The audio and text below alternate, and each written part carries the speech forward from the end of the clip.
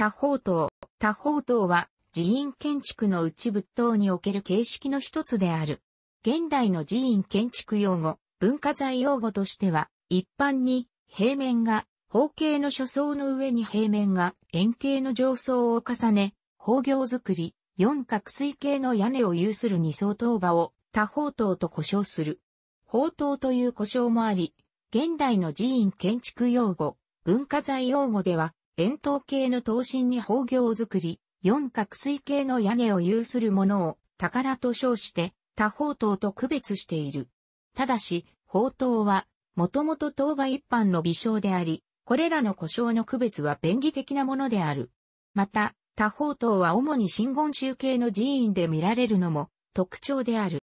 多宝塔は、法華経未宝塔品、第11に出てくるもので、釈迦が霊宗山で法華経を説法していると、多宝如来の塔が湧き出し、中にいた多宝如来が釈迦を三端子半座を開け、に如来が描座したとされることに由来する。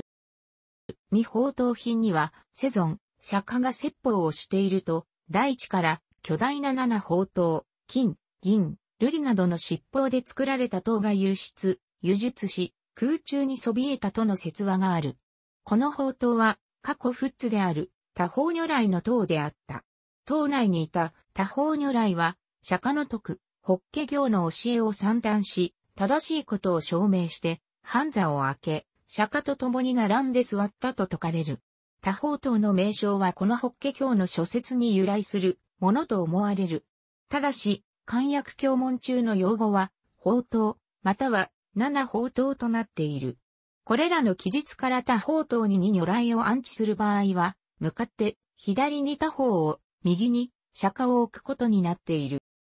この未宝塔品のエピソードは、法華経の中でもドラマチックな場面の一つであり、法華経の真実性を証明するものとして著名で、様々な形式で造形化されている。例えば、奈良県長谷寺所蔵の銅板法華節相図。国宝はこの未宝刀品の場面を造形化したもので7世紀末の作品である。ただし、この作品に表されている塔は、平面六角形の三相当である。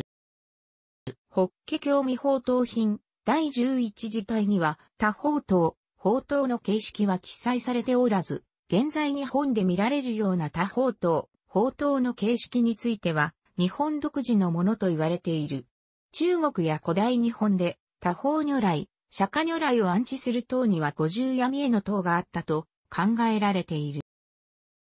現代の寺院建築用語では初重平面が方形、上へ平面が円形の二層塔多宝塔と称するが、さらに競技には初重が方見間、一辺に柱が四、元立ち柱間が三軒あるの意のものを多宝塔と称し、保護圏のものを王塔と称する。このような形式の塔を多宝塔と呼称するのは近世以降のことであり、慶長13年、1608年の平内正信の奥書きがある、証明がその書室とみられる。天台形には初重、上重とも平面方形の二重塔があるがこれは単に二重塔と呼称している。多宝塔の初重内部は趣味段を設け、仏像を安置するのが原則で、石山寺多宝塔のように大日如来を本尊として安置する例が多い。木造のもののほか室内に安置される金属製のもの、屋外に置かれる石像のものがある。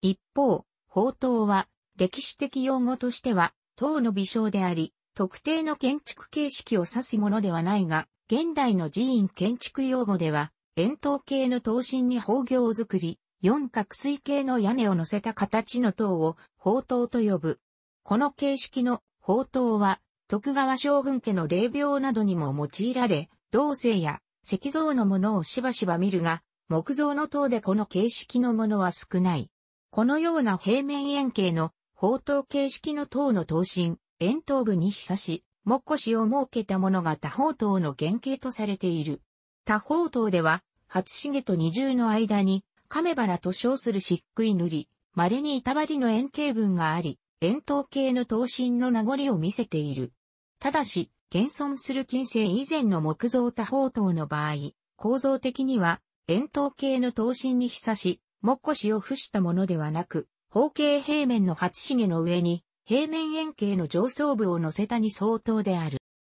多方塔の基本的な形式は、八重は片三軒、上は12本の柱を円形をなすように配置するものである。ただし根頃寺応答は得意な形式で、八重を保護圏とし、八重内部には12本の三車柱が円形をなすように配置され、その内側に4天柱が立つ。三車柱を円形に配するということは、多方塔の原型が円筒形の刀身にも腰を付したものであることを示唆している。ただし、ネゴロジ応答の場合も、構造的には、他の多方塔と同様のに相当である。石像塔の場合は、宝塔形式のものが多いのに対し、石像を追った宝塔の異例は少ない。